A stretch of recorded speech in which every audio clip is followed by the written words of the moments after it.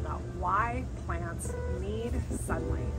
So all plants do this amazing thing called photosynthesis. And photosynthesis is really magic because what plants are doing is they're harvesting energy from sunlight and they're using that energy to take carbon dioxide from the air, water up from their roots, and combining those molecules to make sugar. Sugar is basically a carbon and hydrogen molecule. So plants can do a number of things with these sugars. They can link them together and make cellulose, and it, you know, like plants are pretty much all cellulose. They can link them together and make starches for energy storage for later. And then plants also break down sugars just like we do for energy and do other things with that. Plants are doing all of this magic inside of their leaves.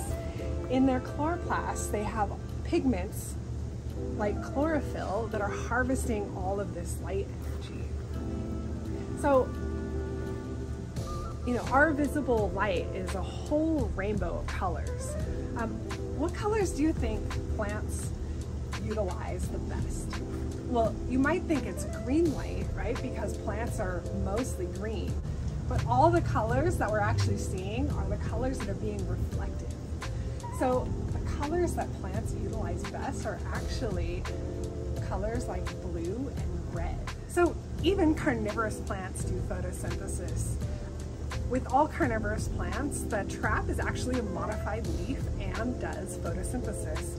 So even though these plants are eating, what they're really trying to get is fertilizer. So plants can make all the sugars they want in the world, but they need added fertilizers they, they either get from the roots or if they're carnivorous, they get from eating bugs. And these are just things like nitrogen, phosphorus, other things besides carbon dioxide. So that's why light is so important to plants. And we're gonna do a bunch of videos about how to provide the perfect kind of light for your plants. If you have any questions or comments, just drop them in the comment section below. We'd love to hear from you. Happy growing.